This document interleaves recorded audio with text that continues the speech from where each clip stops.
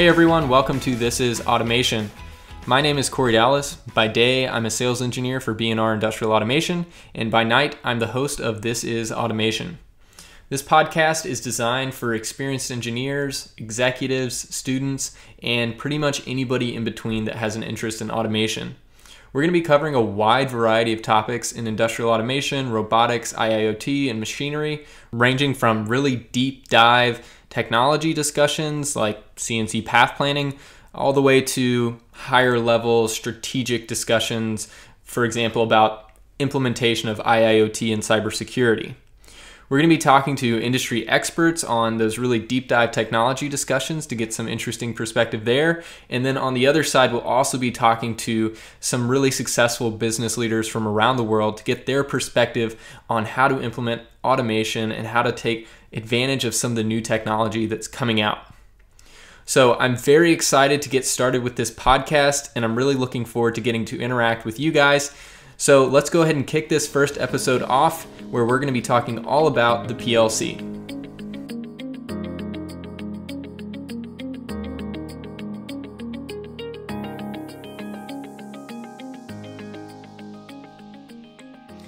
Well, it is a brand new year, 2019, and hopefully everybody had really good New Year's Eve parties. They stayed up drinking some champagne, hanging out with friends. Um, hopefully, though, none of you guys had a hangover, which I'm sure that you didn't.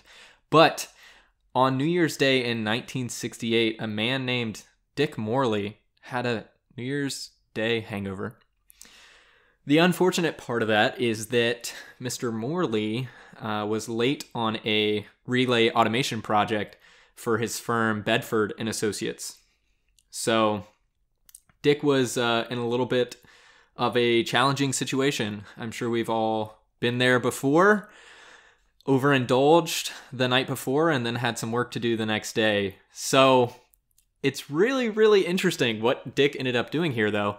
So basically, he'd been facing some challenges with the flexibility and modularity of, of the microcomputer and relay solutions that were pretty typical of that time in the, in the early, uh, mid, and late 60s uh, for automation projects. And you know, I think it was maybe a little bit of hangover magic and a little bit of his uh, growing frustration with with the uh, complexity of the projects.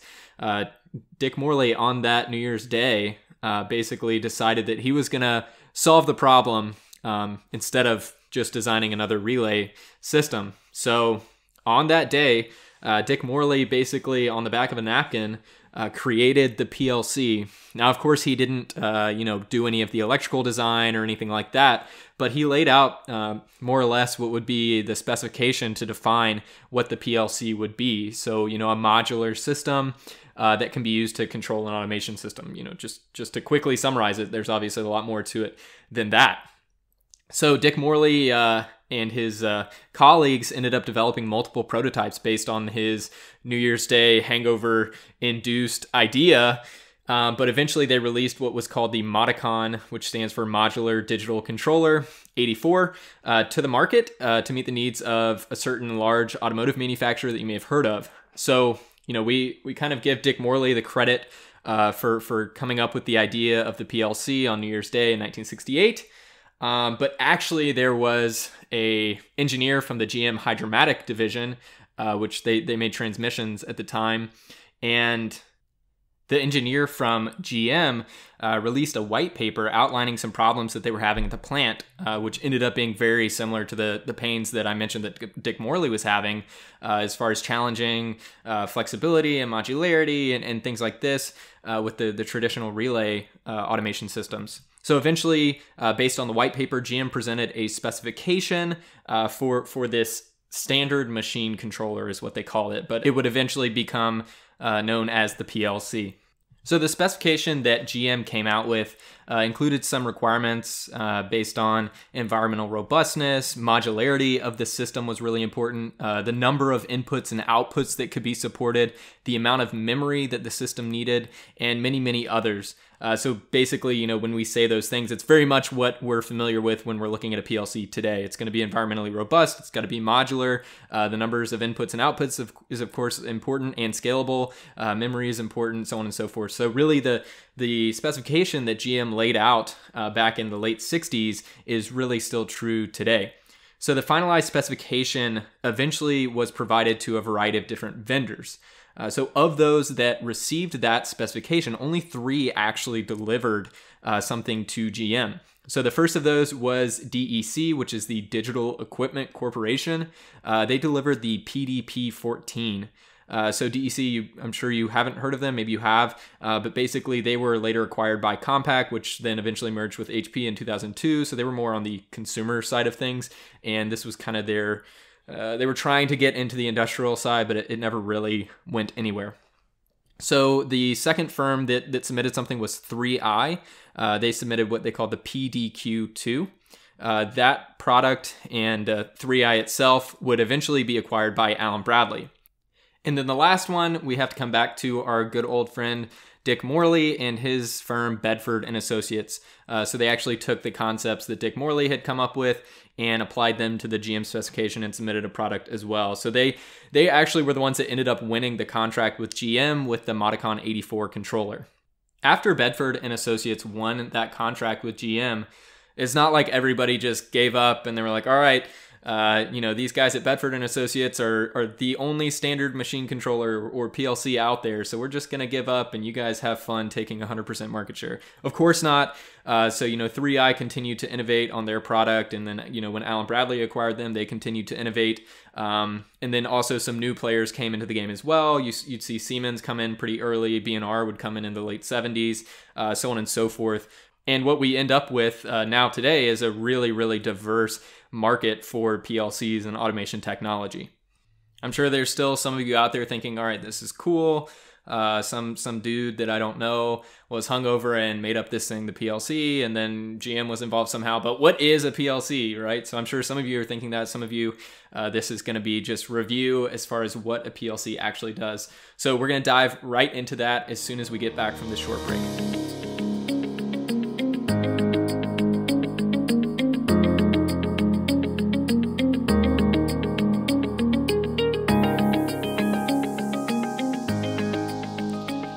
The break, we talked about where the PLC comes from and a little bit about its history and origins.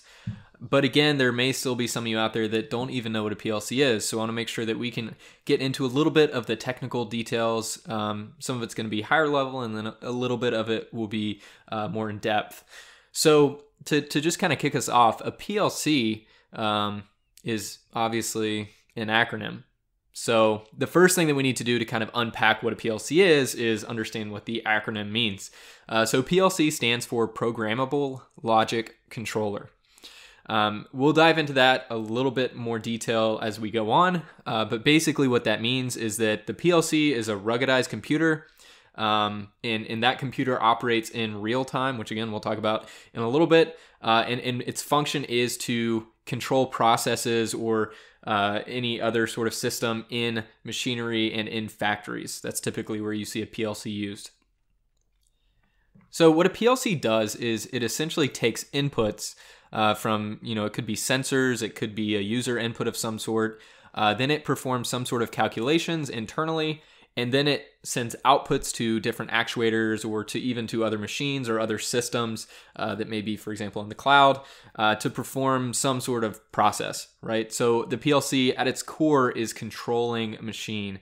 Uh, so again to do that it's taking sensors uh, you know or user inputs uh, doing some sort of manipulation to those um, with you know, perhaps some internal variables and then outputting to actuators on the machine. So an actuator is, is essentially just a component of the machine that's used to either move or control some mechanism or some system. So when, when we say actuator, uh, it's not only things like a pneumatic actuator, but you can also think electric motor, hydraulic cylinder, solenoids, etc. So anything that takes an output from the PLC, we'll, we'll just generically call that an actuator. And then when I say sensor, uh, that's basically a device that detects events or changes in the machine environment. So when I say sensor, you can think of things like thermocouples, pressure transducers, etc. And then when we talk about user input, uh, oftentimes that's going to come through an HMI, which stands for human machine interface. So that's the interface through which humans interact with the machine. Uh, that's typically going to be a touchscreen uh, that's going to have you know multiple pages with different buttons and things like that. Something that you'd be familiar with, uh, for example, on your personal computer, but just at the machine level. The other type of user input is actually physical inputs uh, that are wired, you know, either into the I/O of the PLC or are communicating on some field bus. So that would be uh, something like a switch. It could be a key switch, uh, a multi-position switch. It could be a, a push button, uh, any sort of uh, user input. So to kind of recap that and talk about it in terms of, uh, you know, real sensors, real actuators, and a real PLC function uh, let's talk about a really simple PLC application. Now, just as kind of a disclaimer, you would actually not use a PLC for something like this uh, because the PLC in this example is going to do virtually nothing except for pass the input to the output. Uh, but again, I think it'll be really good for the sake of having a simple example. So, using our uh, kind of architecture of a sensor or user input PLC operation and then an actuator on the machine, for our input, we're going to use a switch, and in this case, it would be a light switch. Uh, so that's a, a switch that has two positions, uh, an on and an off. Okay, and those would be represented into the PLC as a digital signal. So just a binary signal that is either a 1 for on or a 0 for off. Now, on the actuator side, we're going to have a lamp or a light. So, for example, we'll just say an LED. Uh, so that LED is also a digital, um, is going to be taking in a digital signal. So it's either going to be a, a one uh, to power on the LED or a zero to power off the LED. And then in the middle is where we're going to handle the logic that controls how that input, the light switch, is tied to that output, uh, the light itself. So in this case, all the PLC is doing is linking the input of the switch to the output of the LED itself.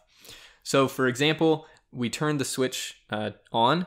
So the PLC sees a 1 for the digital input. Then the PLC is, you know, through the logic that we've coded, going to pass that 1 into the output register for the digital output, which is then going to be sent electrically to the LED and the light will turn on. So I mentioned that you would never use a PLC for this, and the reason is again that the PLC is not really doing anything. You could just directly tie the switch and the light together, which is what is happening anytime that you have a light switch. Uh, but the beauty of the PLC is that you could do anything in between using that same input and same output. Another really simple example would be if we turn that input on, that light switch on, in our PLC, we could have a timer, for example, a five second timer. So when the PLC sees that input come on, it will actually wait five seconds before setting the output register to true. So you would turn your light switch on, and then five seconds later, the LED would illuminate. So since we're talking about timing and connecting inputs and outputs, this is a really good time to talk about what real time means or determinism. So in a automation system, whenever we have a system that we're controlling, we need the outputs to occur and the calculations to occur within a discrete time window relative to the event that's happening in that machine. And this is really, really important to make sure that we're acting on the events around our machine within a sufficient time so that the process can A, be executed properly. So, for example, in the case of tight motion synchronization, we need to make sure that when we send that signal to our motion control system, that it's actually moving the actuator when we expect it to. So that's again really important to make sure that the process happens properly. So this is important for for making sure that whatever product or, or whatever's happening on the machine is actually being done correctly so that it's not you know every every one out of a hundred widgets that we make on our machine is actually good and then the other 99 we have to throw away because we push the button on the HMI and then it may or may not happen within the time frame that we're expecting it to. So you can see why it's important on, on that side. The other side of it is for safety, right? So again, we need to know that when we have an input going to our machine, whether that's through the HMI or some sensor, that our machine is going to react within an appropriate amount of time so that it is predictable and easy to control. Now, determinism is a fairly complicated topic, so it honestly deserves its own episode to really get into the nuances uh, and, and to make sure that you fully understand what's happening with it. But for now, we'll just kind of leave that alone and just understand that it is important for a PLC to have determinism so that we can control the processes on our machine efficiently and safely.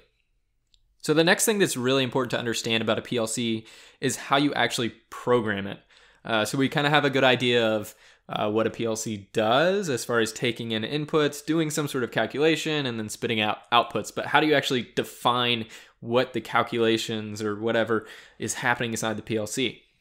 So typically, this happens using some sort of application software or IDE on a standard PC. Uh, the software is typically going to come from a PLC manufacturer, but in some cases, this may be an open source IDE or some sort of uh, semi modified open source IDE.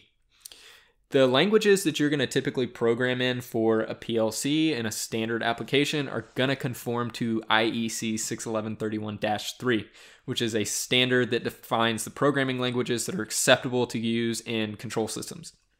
So there's five of them. Uh, they are function block diagram, ladder diagram, structured text, instruction list, and sequential function chart. Uh, honestly, the only two that you're probably ever going to encounter in the average machine are ladder diagram, also known as ladder logic, or structured text. The most common by far still is probably ladder diagram or ladder logic. Uh, but there's a clear shift in the industry happening right now towards more of the text based languages like structured text. And some machines are even being coded in C and C, for example, which are kind of outside of the IEC 61131 3 standard.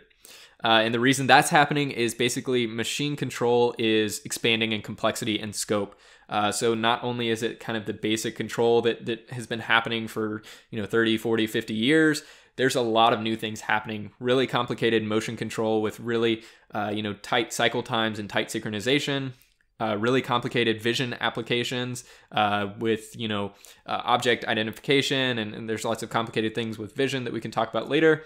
And you know lots of other applications that are kind of complicated with communication requirements like iiot and things like that where you want to communicate up to the cloud. If you're trying to stick with ladder some of those things are going to be kind of hard to implement. When you move to a text-based languages it really opens up the opportunities for you. Now that's not to say that there isn't a use case for a ladder diagram. There definitely is. Ladder diagram was originally designed to replicate the old school relay logic. So it's really easy for uh, service technicians and end users that are actually using machine to understand what's going on in the code. It's really easy to diagnose. Uh, but again, you kind of have some of those downsides where you're limited in the scope of complexity that your application can have. So if you try to implement a really complicated program in ladder, it's going to get unusable really, really quick. But it's still a very, very good language for a simple application. Anything that's just handling inputs and outputs using some of the standard PLC functions like timers and counters, uh, any sort of alarm handling is really, really good for Ladder because, again, it's really easy for people to understand. Most of the service technicians already out in the field understand how to diagnose this. So that, that's why I say that alarm handling is, is often a good uh, task to be written in ladder diagram. Uh, but again, you're just going to want to look at this kind of as a case by case basis as far as which language is going to be right for your application. So, what happens after you've written the code kind of depends on which uh, architecture you're living in.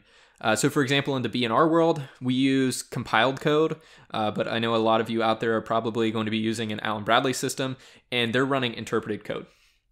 So there's a pretty stark difference between those, and I'll try to come off uh, as unbiased as I can.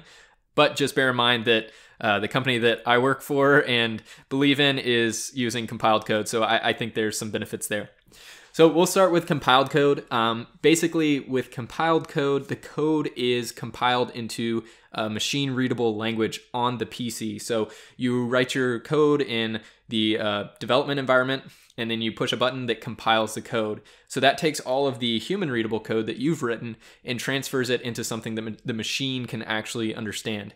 Then you transfer that machine code onto the PLC. So the advantages of this are it's going to run faster on the PLC, and also all of your PLC resources are going to be used for actually running the code instead of interpreting it at runtime constantly. The other upside to compiled code is that it's really easy to protect your IP uh, when I say IP, I mean intellectual property, when you're using compiled code because the source code is typically not stored on the PLC. So that's something that the machine builder or the person that programmed the machine would have access to. But then once it gets transferred onto the PLC, it's pretty much locked down, and there's no way to uh, take it back from you know the machine code into um, a human readable code without an excessive amount of work. And if you're going to do that, you you might as well just rewrite the code. So it's a really really safe um, method, and it's really good at securing your IP, which is becoming more and more important as um, OEMs are implementing really complicated and really, uh, really kind of groundbreaking and market differentiating technologies into their PLCs. So typically there is an option to include an encrypted copy of the source code if you want to do that. Um, it's usually just a checkbox, and then you can transfer it either password protected or not. Uh, and people would do that if they wanted to give, for example, the end user or service technicians access to their code. But again, uh, in my experience, I've been seeing uh, more and more people that are building and designing automation systems, they don't want that source code to get into the hands of the end user anymore uh, because of the level of complexity that it's reaching. So the other side of that is interpreted code. So interpreted code is basically transferred to the PLC and then interpreted at runtime. So there's no compiling happening on your personal uh, laptop or desktop. All of that human readable code that you've written is being interpreted in real time on the PLC. And this sounds really cool, and it is really cool. Uh, and it also means that changes to the code can happen on the fly without the need to recompile, which is one of the downsides of compiled code, is that anytime you make a change to the code, you're going to have to recompile it. So interpreted code can be better for uh, A, debugging, and then B, changing code at runtime. It's just going to be simpler uh, because of the nature of it. However, interpreted code, as I mentioned, runs slower which means that it may not be the right choice for applications that require really fast cycle times or really tight synchronization of any type. Uh, it also means that your source code is more or less generally exposed, uh, and the possibility for man- manipulation of your IP is higher. Now, again, it is the modern era, and most companies have ways to safeguard against this, but it's just something to uh, be aware of. You're going to have to have some additional safeguards around that structure, whereas compiled code is inherently more secure. So, the last thing that we need to talk about related to PLCs and programming them is scan time, or what you may also hear referred to as cycle time. So, this is essentially the time at which the tasks in your PLC are being executed. So PLCs are typically executing their code cyclically, uh, which means that you write some logic, it runs, and then it runs again and again and again the same code over and over for theoretically infinity. And you define the time at which that code has to execute within using the scan time or cycle time. Some PLCs restrict you to a single scan time, whereas others are more configurable and you can have multiples uh, running at the same time. But this is where the determinism or real time functionality comes in. So what a what a scan time or cycle time does is it guarantees that the code that you've written will execute within the scan or cycle every time within usually some tolerance uh, that's added onto the end. Now the scan time or cycle time is also uh, tightly linked to the I/O. So any I/O, the inputs and outputs that you have on your PLC are going to be updating at some time that is related to the scan time or cycle time. And if you're not familiar, modern PLCs are typically running in the millisecond range. So you may have your, uh, you know, most important class running at 10 milliseconds or something like that, and then less important things in the 100 millisecond, 500 millisecond uh, type of range. Uh, but for really important uh, applications that require a faster cycle time, you can get down into the microsecond, like 100 microsecond range. Uh, and then there's even some technology out there that lets you get into the single microsecond range. Uh, and we can talk about that in detail in another episode. But you're typically going to see something in the microsecond to millisecond range, depending on the application, depending on the PLC, uh, and depending on how it's been programmed. All right, so we got a little bit into the weeds there uh, on the technical side, so we'll kind of uh, work our way back out of that, and we'll just kind of look at a high level overview of the kinds of applications that PLCs are used for and some of the functionalities uh, that PLCs have. So I've broken this up into like four or five different categories that we'll jump into in a little bit of detail. So the first category is basic control. Uh, so to me, basic control means anything uh, that is using timers, handling inputs and outputs, using arithmetic functions, counting, uh, you know, even uh, simple tasks like user role management or recipe management. Uh, even things using a little bit more advanced control like PID loop, uh, alarms, and alarm handling. So, those kind of activities are what I would call basic control. And then from there, we can branch into, uh, you know, what I would call three other core functionalities: uh, motion control, communications, and visualization. And then we've got one kind of special one that we'll talk about at the end.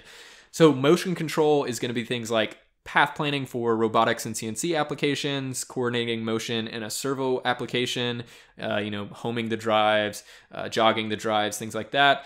Uh, or, for example, directly controlling stepper motors. So anything that has to do with a motor or motion of some sort uh, could be handled in, in that kind of application.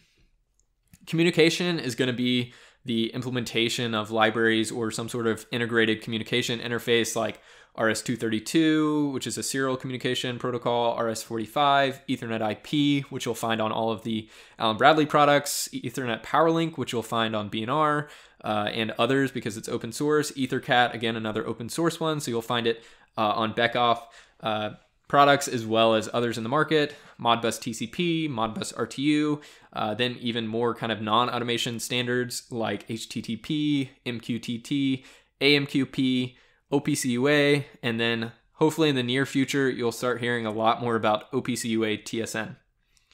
And honestly, that was just a list of a bunch of different communication protocols, but what you would use that for uh, is communicating to either other machines, to uh, sensors or actuators that run on some sort of field bus or other communication protocol, or even communicating up into the cloud, which is what you would use that MQTT, AMQP, and OPC UA for.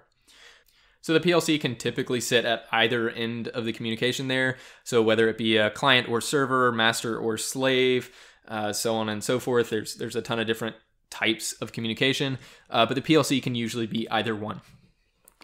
So the last one that we talked about out of the uh, three additional uh, functionality groups is visualization. So visualization is a really really important part of a machine, uh, and it's getting more and more attention these days.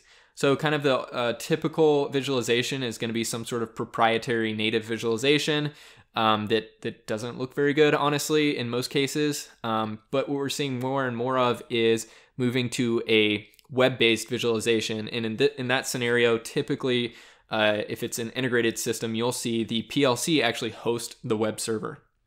Now, the PLC has a lot of other functions. These are just some of the simple ones. Uh, one of those kind of special functions is safety. So a PLC could either be the actual safety PLC that's actually performing machine safety functions, making sure that machine safety functions are adhered to, uh, or it could just be a standard PLC interfacing with some sort of safety system to monitor the status or uh, communicate some sort of data back and forth. All right, so that's as much technical detail as I want to get to in this episode. There's a ton more that we could talk about about the PLC and the different functions that kind of live inside of them. But for now, I want to move to talking about the future. So, what does the future of the PLC look like? And what does automation look like for the next generation of machines? And is the PLC a part of that? While I would love to start talking about that right now, I think we deserve a quick break because we've been into the technical weeds for quite some time now. So, we will jump into that right after this short break.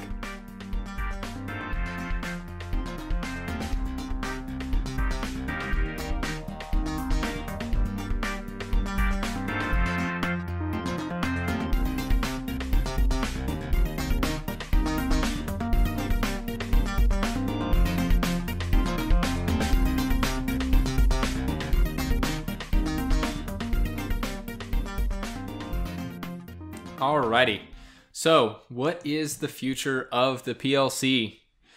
Well, I think first and foremost, from what I've seen, there's really not an indication that much is going to change as far as the role of the PLC in the future of machines. The reason for that is that the modular design and flexibility of the PLC has made it the preferred technology for automation for the past 50 plus years, and all signs point to a continuation of that trend. As the PLC develops to adapt to the future of automation, I think we're going to see some things like they're going to get smaller, they're going to get faster, they're going to get cheaper, they'll be more featured and more efficient. To remain relevant, though, in the automation space, PLCs aren't just going to have to get faster, smaller, cheaper, more featured, more efficient. They're going to have to adapt to and integrate trends in the market like Industry 4.0, IIoT, open communications, remote access, and others. I think that we're also going to see some of the consumer electronics features and functions uh, and expectations, honestly, start to trickle into automation. And I think we're already seeing that with some of the web based visualizations and other features that are starting to show up in machines and some of the higher end machines in the market. So, again, we may see the PLC change to be smaller, to be faster, to be lighter, uh, to be in the cloud. Who knows what's going to happen? But we can say with some level of confidence that the core ideas and the core principles behind the PLC that make it what it is, that were conceived some 50 plus years ago, are going to stay the same. And in my opinion, that's a really good thing. It means that the machines that we're building today are built on a really robust and a really stable and a really well thought out platform. The PLC is a really strong piece of technology that has served the automation industry well for 50 plus years and I don't think that's going to change anytime soon. Well, to those of you that stuck around to the end, I think we learned quite a lot today. We learned how a New Year's Day hangover was related to the birth of the PLC. We learned a little bit about some other history of the PLC. We learned what a PLC is, some of the core functionalities and applications, and then we also talked kind of briefly about what the future of the PLC is and what the future holds for automation. I hope you found some little nuggets in this episode that were interesting to you, or maybe something that you didn't know before. In future episodes, we're going to be taking a look at some really exciting new technologies that are coming out, uh, like cybersecurity and IIoT, machine learning and AI. We'll be taking a look at some long stator linear motor track technology, machine vision, lots of really, really exciting topics lined up.